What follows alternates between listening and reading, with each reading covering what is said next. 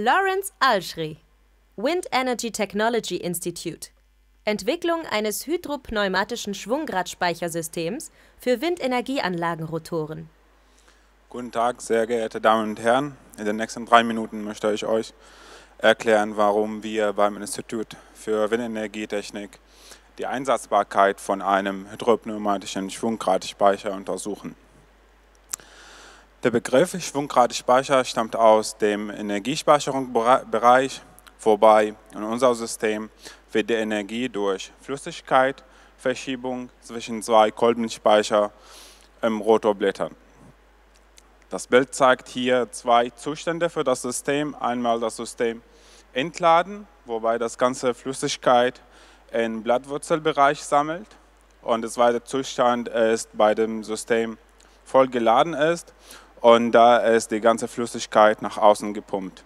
Mit dem äh, Schwunggradsystem man kann viele schöne Sachen machen.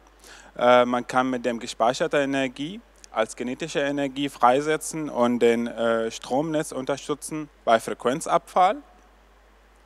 Und man kann auch den äh, man kann auch äh, damit äh, die Trägheit von den Blättern ändern und dadurch auch die ähm, Schwingung von den ganzen Windanlagenkomponenten steuern. Viele weitere Nutzung von, den, äh, von dem System hilft bei Energiewende und äh, Stromkostensenkung. Momentan sind wir, untersuchen wir in Kooperation mit Hydak, einer der größten Hydraulik-Komponentenhersteller.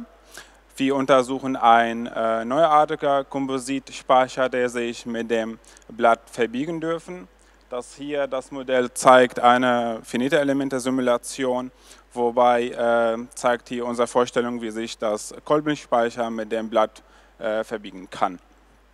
Wir sind mit, der, mit, unseren Ergebnissen so weit, dass wir jetzt äh, auf der Suche sind nach Rotorblatthersteller, der uns Prototypen, Blattprototypen bauen kann und wir unser System da drin äh, testen können.